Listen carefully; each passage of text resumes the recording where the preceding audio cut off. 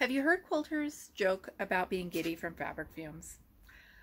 That is the state I am in right now because we just got back from a quilters estate sale and you will not believe what I got for 43 bucks. I originally thought about going to the sale on Saturday. I had a lunch date. I thought I could leave early and stop on the way up. And then I looked at the map and it was at the far end of town out by the lake, up in the hills, and I decided I don't know that area. You're off the main path by this point, so I didn't think that I felt comfortable driving that far off the beaten track by myself. I decided I would go Sunday with the boys. This morning I asked if they would go with me, and they did.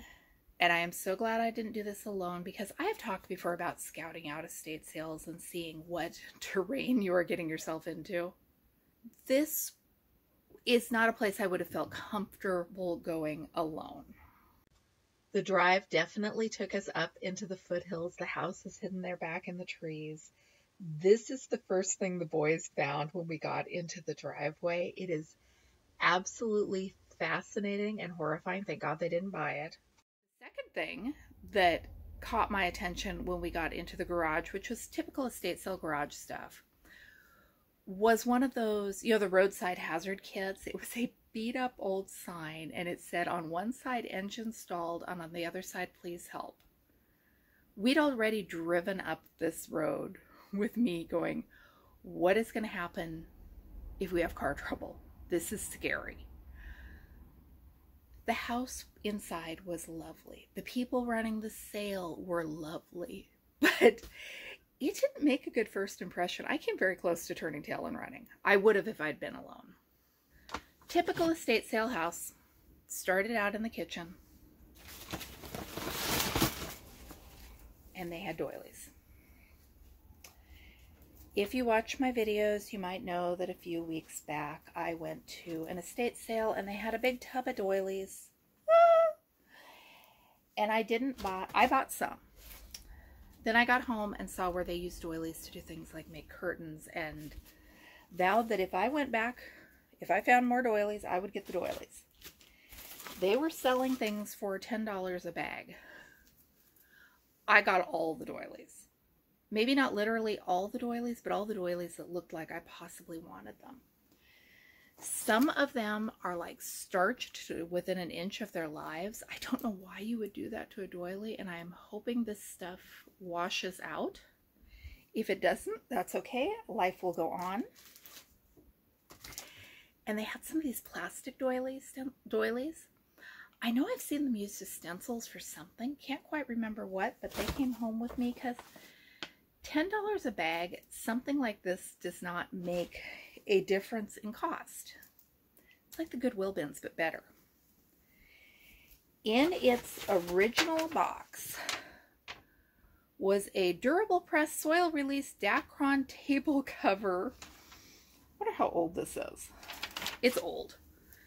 It is 70 by 90 inches. It is lovely. If it was used, it was used carefully. I have a vague idea what I think I might want to do with it. But again, it's in that I'll figure it out realm. I have been seeing these lace curtains with houses on them that I had never seen until I saw them online. Then my husband and I went out to breakfast and the restaurant had them. I'm told they were popular in the 90s. And I've been looking for it. It has Victorian houses. This is pink, it's not the one I was looking for. But you know, to stumble across it in a estate sale out of the blue, that's miracle enough for me. Unopened cheesecloth. The McDonald Observatory newsletter. I have no idea that belongs to one of the boys. We go to things like this and they know that they are welcome to put stuff in the bag. Then I found the greeting cards. I have been wanting to make one of those bowls where you crochet around the edges and all that. So I don't think these are the greeting cards I need. A lot of them are unused. I think our quilter wrote thank you notes and things for her friends. Because look at that. Someday I will send happy mail. Someday I will need these. In addition to getting all the doilies, I got all the embroidery. We were close to the end of the sale. So I did not feel much guilt in swooping it all up because, you know, next stop, sad as that is, might have been the landfill.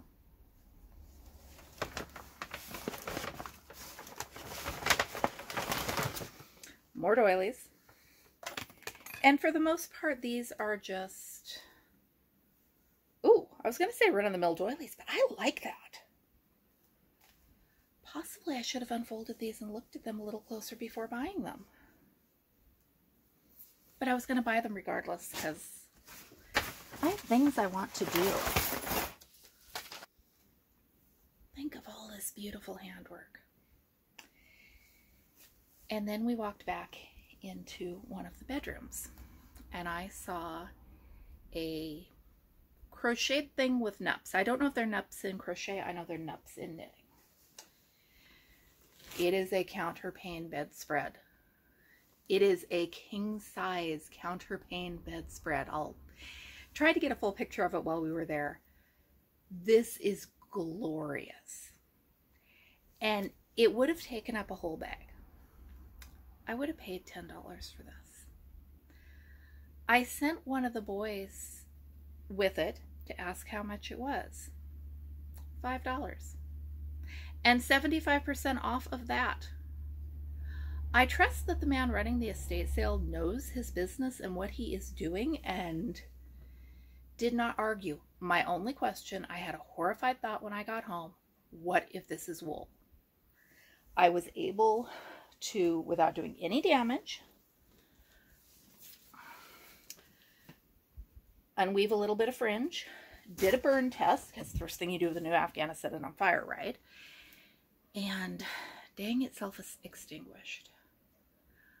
I'm going to have to do some research and proceed carefully. Then we were on into the living room. These are all Boye double point knitting needles. Remember how I was talking about knitting a round tablecloth? I have these, which are all, I want to say that they are plastic, but who knows.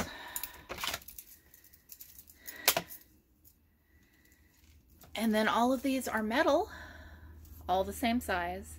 Someone was knitting big round things. I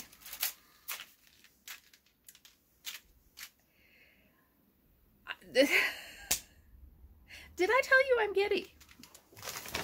More doilies? I really could have done a video just for the doilies.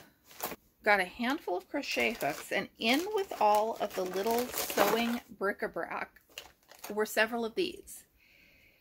It's a wooden thing with a nail on the end. And I just assumed that these were something for knitting or crocheting or quilting or something. And if you know what they are, please let me know because I have no clue. And some beads.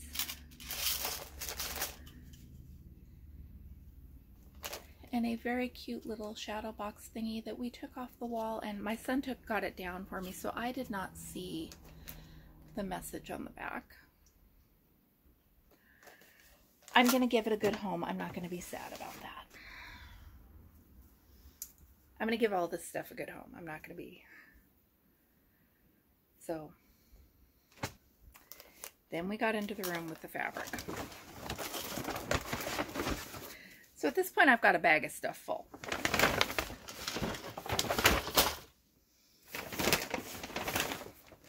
Oh, and one of the boys found this. Her little basket has a pair of scissors that slipped out into one of the other bags. She's got a pin cushion. She holds some thread. I love the idea of her more than her paint job, but I'm thinking maybe we can repaint her. I went into the sewing room, spare bedroom, whatever it was. and there was a wall of books. There was a wall of shelves of pre-cut fabric squares. And my brain, when I am grabbing this stuff, I am bringing it to the quilt group because we need more fabric. All of these are pre-cut rectangles. I don't think they're all the same size. I think they will need to be trimmed. They were in a box, but the box wouldn't fit in my bag. I got all of them. I went just a little bit overboard. But they had blocks. This woman's sewing stuff was incredibly well organized. It was all incredibly clean. Look at the string blocks. This is like half a quilt here for the group when I figure out what to combine it with. And it doesn't have to be me who does it. This is 69 six and a half inch blocks. Oh, are these rail fence?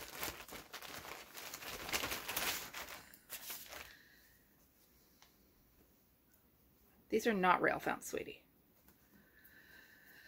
But they are blocks.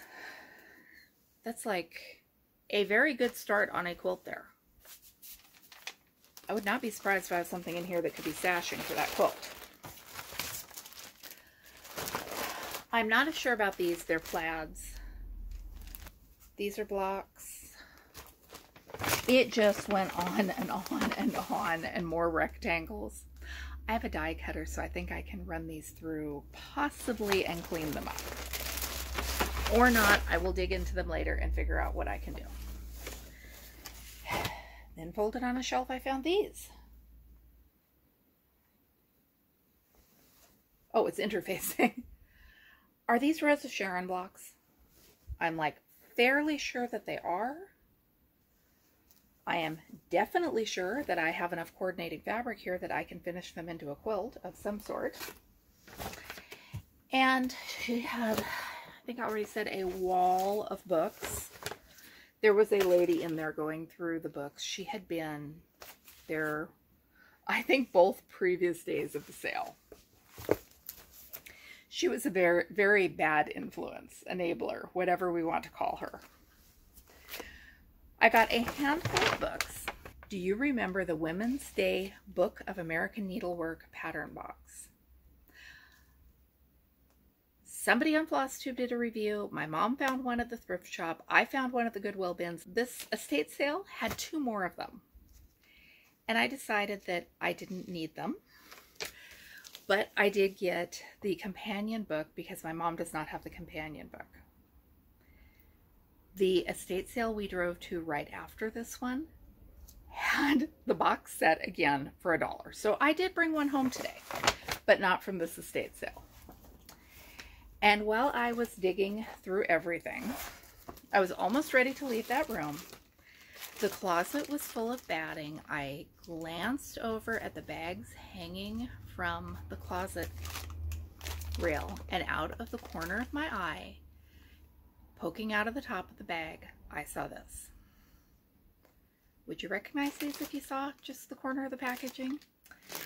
These are 11 inch square Q snaps, totally unopened. An 11 by 17 inch Q snap that was in its original packaging. It had been opened.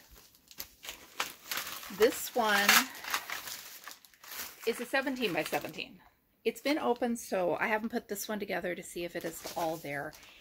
Even if these are just spare parts, I've been wanting more Q-snaps. Mine are going on 20 years old, and after heavy use, they loosen up a bit. These are about 17 bucks a piece. Nobody sells them locally. I'd have to order them online. So three sets. They are tighter than the ones that I already own. I can't believe how close I came to missing them. Of course, I never would have known I'd missed them, but this, it between the bedspread and the Q snaps, and at that point, my boys had been being very patient, and I was ready to leave, and my oldest son had been talking to the guy about the house which was going on the market because my son really liked the house. Told me the bedroom opens up onto the the deck. I didn't know there was a deck. There was a deck and there was fabric on the deck.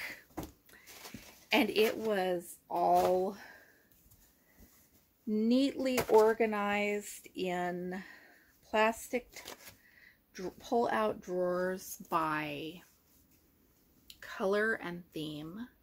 This was day three of the sale.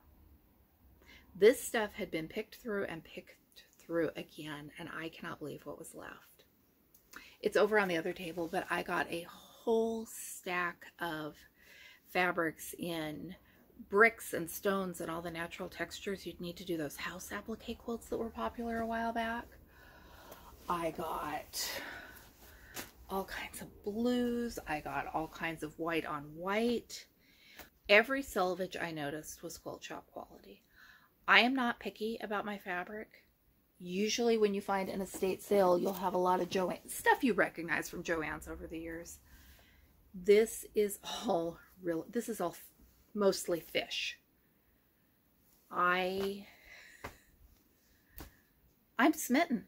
I don't know how to react to this because it is amazing. I spent 40 $42 which included my new bedspread and the a pegboard I bought for the boys. Four paper grocery sacks full to the gills. I have a whole Rubbermaid tub here of fabric. And I'm not going to flip through all of it because that sounds like it would be really boring for you and really stressful for me, but there's a lot of quilts here. I'm going to go through, see what I'm going to sew up. The rest of it I will quite happily donate to my quilt group. They're doing another sale next weekend. And you can bet if I have a chance, I'm going back. Don't know if I'd go without a boy. They're good for hauling bags and loading the car and stuff, and especially going further down that gravel road to turn around. Sales like this are few and far between, but oh boy, are they worth looking for. Thanks for watching. I'm Michelle. This is my Romantic Tangle. I'll be back with you with more videos soon, and I'm going to start kitting some of this stuff up, and I will definitely be back with more videos showing you the fabric and what I'm going to do with it.